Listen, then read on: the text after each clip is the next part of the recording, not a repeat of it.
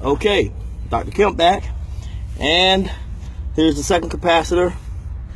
Uh, this is a 5 microfarad capacitor.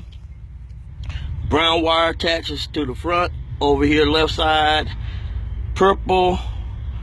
Uh, brown over there. Uh,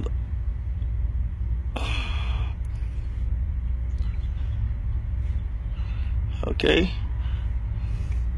The black goes the purple goes where this one is where the yellow one is and the black one goes right here. All right so that's where that was. And that's just my reference. Five microfarad capacitor. So that's brown and purple right here and black to, to this end. And here's what it's showing 2.5 uh, microfarad.